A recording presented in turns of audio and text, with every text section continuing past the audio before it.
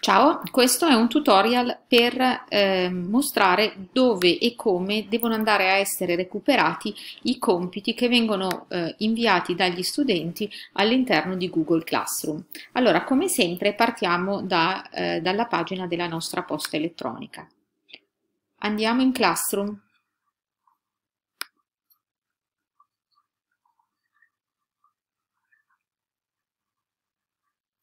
Cerchiamo la classe che ci ha eh, consegnato i compiti.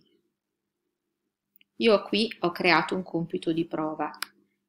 Ho ricevuto la comunicazione, vedete, che eh, lo studente della mia classe ha restituito il compito.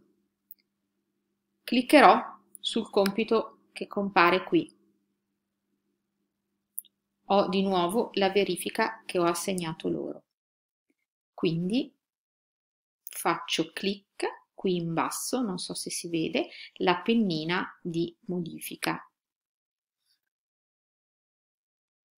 In risposte, qui, qui compare la mia verifica con le opzioni corrette, così come l'avevo impostata. In risposte ho il numero di studenti che ha inviato le risposte. Faccio clic, entro nella scheda mi sposto su individuali e vedrò, vedete questo si chiamava prova l'account che si chiama prova l'account che io ho creato per fare questi tutorial e qui vedrete eh, le risposte del vostro studente.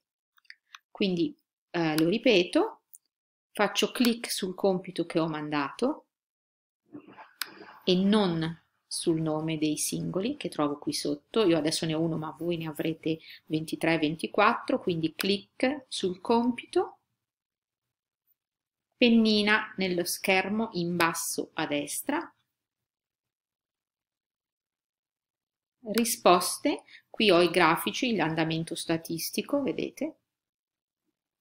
Mi dice anche eh, quali sono le domande che sono state sbagliate più frequentemente, è una cosa anche abbastanza interessante, avrò gli individuali e qui ho eh, le risposte alle verifiche per studente per studente. Adesso rispetto ne ho una sola, ma eh, ne avrò poi tutte quelle per, eh, relative agli studenti che hanno sottoposto eh, la loro prova. E questo è tutto.